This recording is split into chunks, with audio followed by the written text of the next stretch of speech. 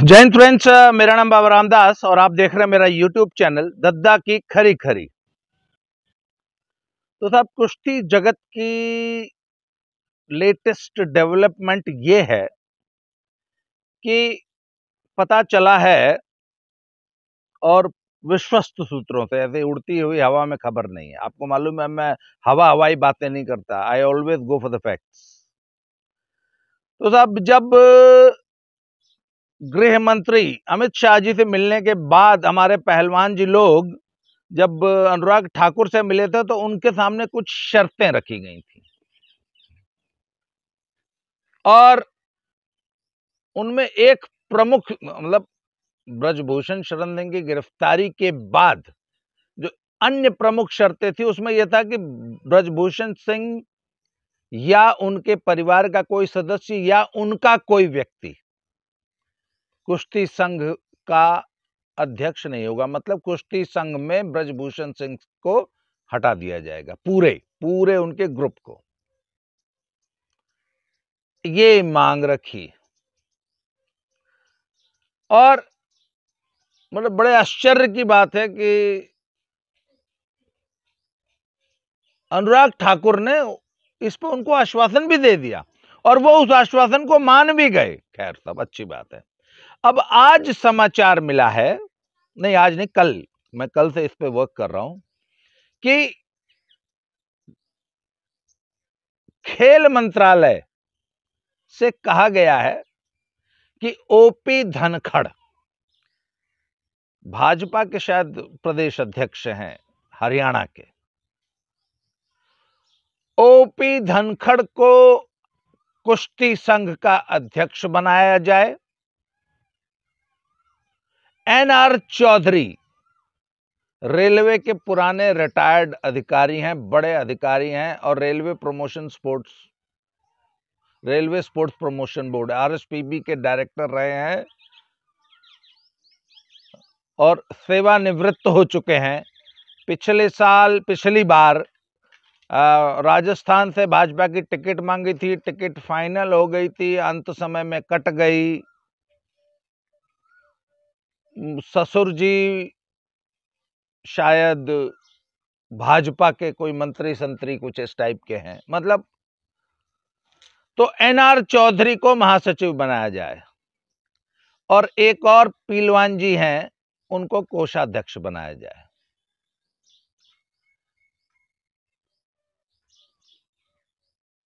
ब्रजभूषण नहीं रहेगा। मिड्डल हम लाते हैं। मिड्डल हरियाणा वाले लगते हैं। मिडल तो जाट लाते हैं। तो कुश्ती का अध्यक्ष ब्रजभूषण सिंह यूपी वाला क्यों है?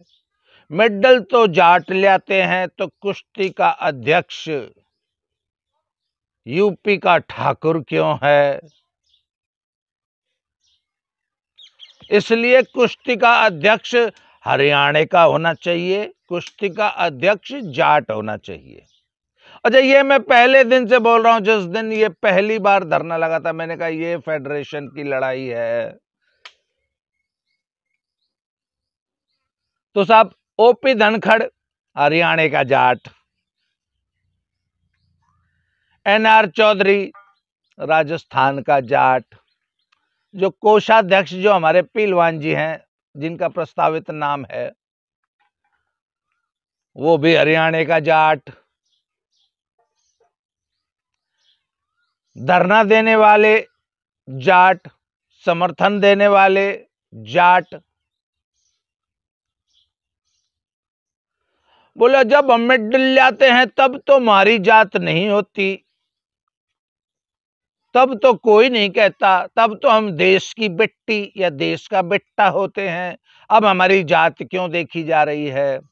अरे भाई, जब जातिवादी सोच के साथ जातिवादी राजनीति करोगे तो जात कोई देखता नहीं है, दिख जाती है।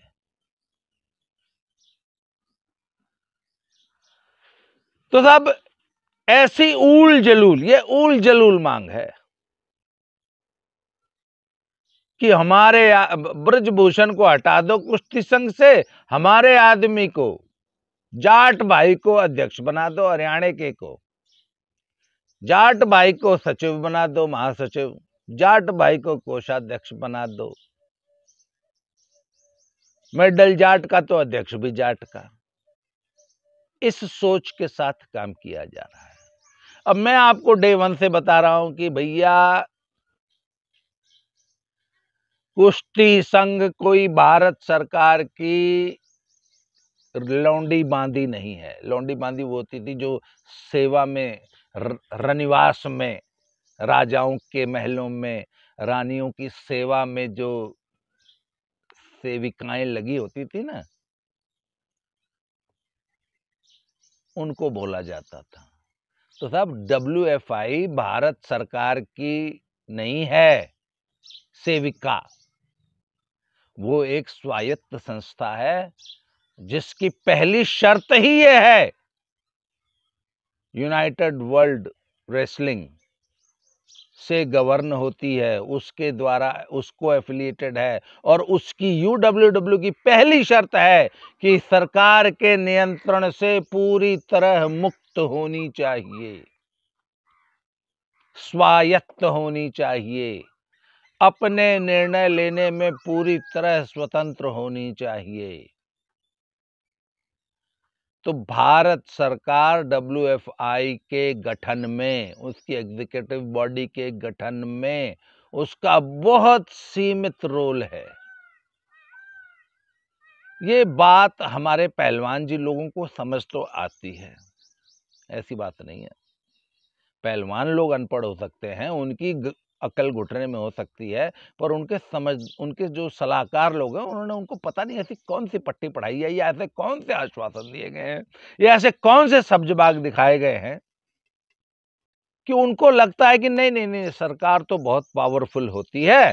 सर, जैसे पिछले चार दिनों से क्या है कि ये एनआर चौधरी ना, सभी जितने भी स्टेट बॉडीज हैं, उनके प्रेसिडेंट्स और सेक्रेटरीज को फ़ोन कर रहे हैं।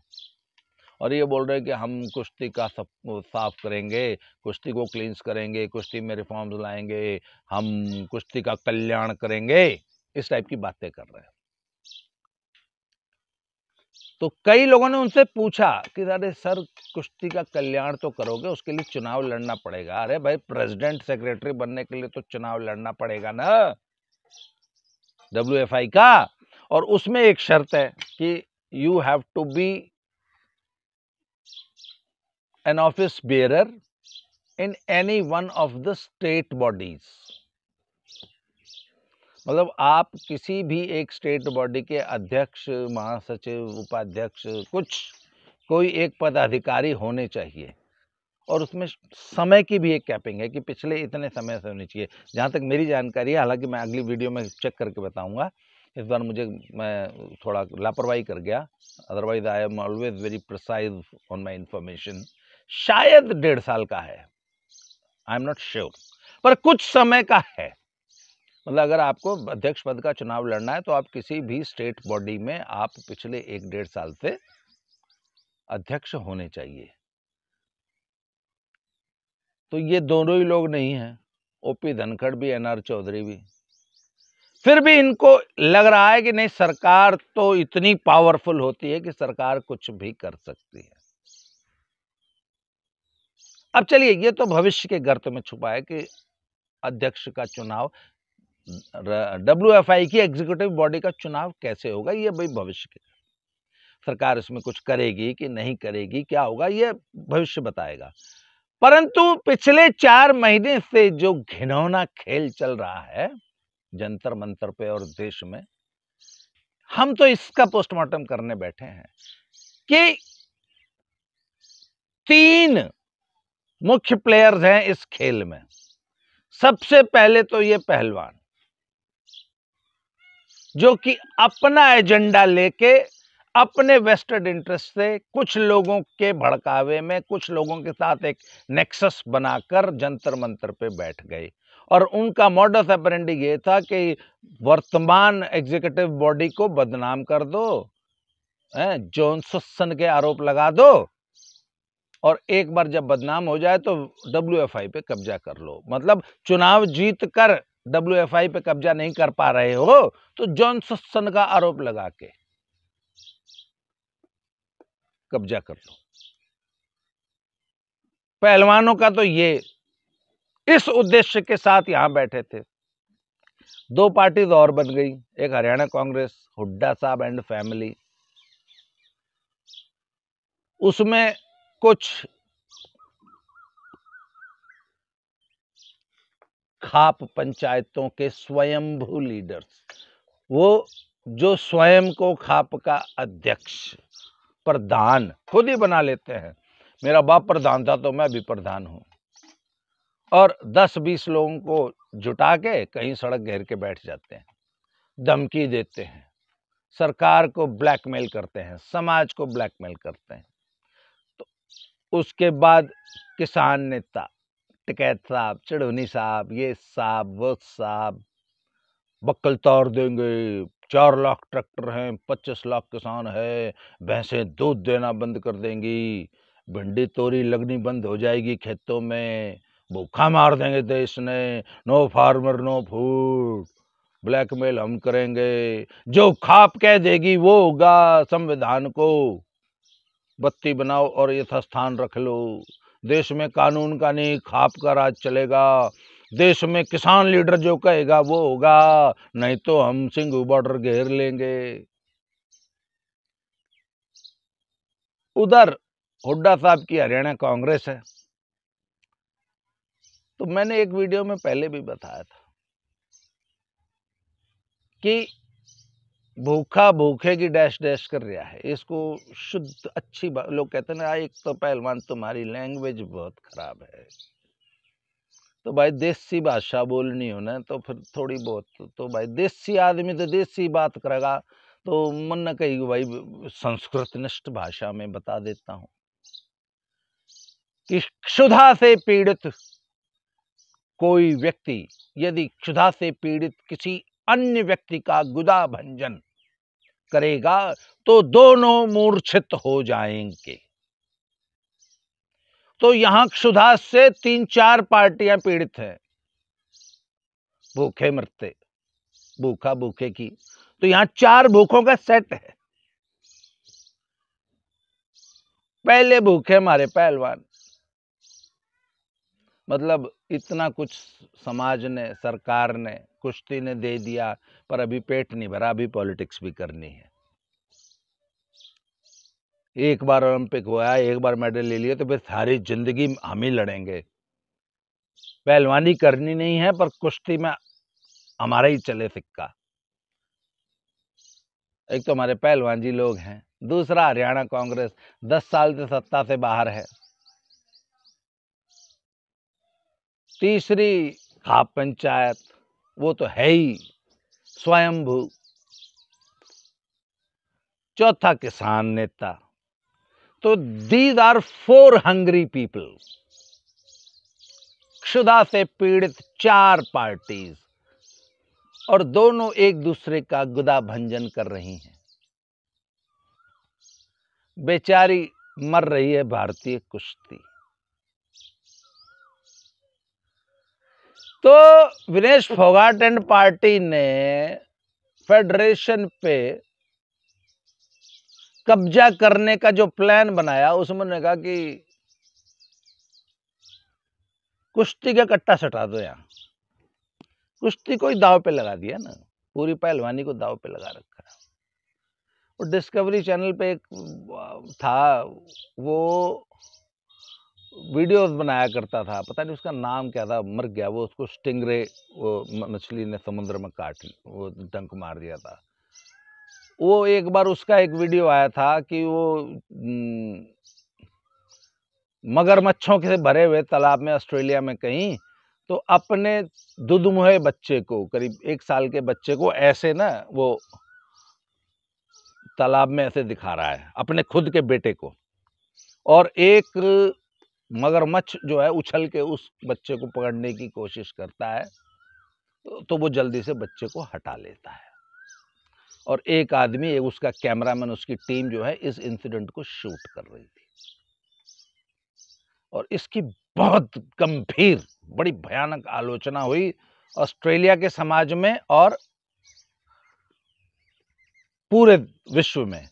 कि तुम अपने धंधे के लिए, अपने एक वीडियो के लिए, डिस्कवरी चैनल पे अपने धंधे के लिए, अपने दुधमुहे बच्चे को मतलब एक वो बना रहे हो ना, कांटे में फंसा के जैसे मछली को ललचाया जाता है। तो ये तुम्हारा स्तर हो गया है, सिर्फ़ वीडियो बनाने के लिए। तो हमारे पहलवानों ने भारतीय कुश्ती को इसी तरह दांव पे लगा दिया। चारा बना के। ये तो है पहलवानों की। और जब पहलवानों ने मौका दे दिया, वो ये सब करने को तैयार ही थे। कुश्ती की इज़्ज़त दाव पे लगा दी, एक हज़ार बेटियों की इज़्ज़त दाव पे लगा दी, अपनी खुद, पहले बोली, नहीं नहीं, हमारे साथ नहीं हुआ। पर जब अब देखा कि अब इस दलदल में तो कूद गए हैं, अब तो सरवाइव करना है तो खुद की इज़्ज़त दाव पे लगा दी। अपने पेरेंट्स की इज़्ज़त दाव पे लगा दी और पूरी पहलवानी की इज़्ज़त दाव पे लगा दी, सारे कोचेस की इज़्ज़त दाव पे लगा दी। सारे मतलब पेरेंट्स की मतलब पूरे समाज की इज़्ज़त दाव पे लगा दी। क्यों? मारे आदमी को अध्यक्ष बना दो। और वो एजेंडा आ गया ना सामने। ओपी धनखड़ को अध्यक्ष बना दो। एन आर चौधरी को सचिव बना दो, कुश्ती संघ का। मारे आदमी ने कोषाध्यक्ष बना दो। ये है सब। और पिछले चार दिनों से आप, पाँच दिनों से साक्षी मलिक और विनेश फोगाट और बजरंग पूनिया के बयान सुन लीजिए। चढ़ूनी गिरफ़्तार हुआ कुरुक्षेत्र में सनफ्लावर, सूरजमुखी का एमएसपी मांगते हुए। तो साक्षी मलिक ने जो है चढ़ूनी को किसानों पे अत्याचार बर्दाश्त नहीं किया जाएगा चढ़ूनी को रिहा करो। और ये देखो किसानों की इतनी निर्मम पिटाई हुई है, हालाँकि वो पुरानी पुरानी फ़ोटो थी, उसने ऐसी किसान आंदोलन के नाम पे यहाँ चेप दी। कल खटकड़ गई थी विनेश फोगाट, वहाँ पे बेरोजगारी और महँगाई और किसान और युवा और, हैं, और महिलाओं का सम्मान मतलब ऐसे पॉलिटिकल बातें कर रही थी। तो अरे भाई, तुमको ये ये पॉलिटिशियंस की बातें हैं। जब आप महँगाई की और बेरोजगारी की और किसान आंदोलन और किसान की आमदनी दुगनी नहीं हुई और एमएसपी दो, हैं? औरतों की इज़्ज़त। ऐसी जब बातें करने लगे ना तो दीज आर पॉलिटिकल बातें। अरे भैया, तुम्हें पॉलिटिक्स करनी है तो खुल के आओ यार। ये पहलवानी का भेष बना के। कॉस्ट्यूम पहन के जिम में खुद को दिखाते हुए पॉलिटिक्स मत करो दुनिया पॉलिटिक्स करती है, कर रहा है वो योगेश्वर दत्त कर रहा है, बबीता फोगाट कर रही है विजेंद्र सिंह कर रहा है और दुनिया भर के पॉलिटिशियन वो देखो, वो क्रिकेटर जो है, नवजोत सिंह सिद्धू कॉमेडियन वो कर रहा है? गौतम गंभीर कर रहा है वो ज्योतिर्मय सिकदर वहाँ कर रही है बंगाल में। और बहुत सारे, कितने सारे पुराने स्पोर्ट्समैन हैं जो पॉलिटिक्स कर रहे हैं और बहुत अच्छे कर रहे हैं। तो रेसलिंग से रिटायरमेंट लो और करो। जम के पॉलिटिक्स करो। कोई पॉलिटिकल पार्टी ज्वाइन करो, अपनी बना लो और इन सारे मुद्दों पे दिन रात धरने दो, सब कुछ करो। पहलवान के भेष में। मैं मेडल बहा दूँगी मैं ये कर दूँगी। ये मत करो। और अब आपका एजेंडा धीरे धीरे पब्लिक के सामने आ रहा है। अब लोगों को अपने आप समझ में आ रहा है कि आपने ये सब किस लिए किया था। बाकी पंद्रह तारीख को। कुकुर की सीटियाँ लग रही हैं सब अरे कालीचरण! कालीचरण हमारे मंदिर में सेवक हैं। और सुबह सुबह दलिया बना रहे हैं मेरा। चूल्हे पे खाना बन रहा है। ये आपको दिखाई दूँगा ये लो ये देखिए। खैर साहब तो ये है हमारे पहलवानों का आज का कच्चा चिट्ठा। और जगबीर सिंह दैया इंटरनेशनल रेफरी की पोल खोल। अभियान चलता रहेगा, अगली वीडियो में उनकी फिर से पोल खोली जाएगी। आज के लिए इस वीडियो में इतना ही, अगली वीडियो में फिर से मिलते हैं। Thank you very much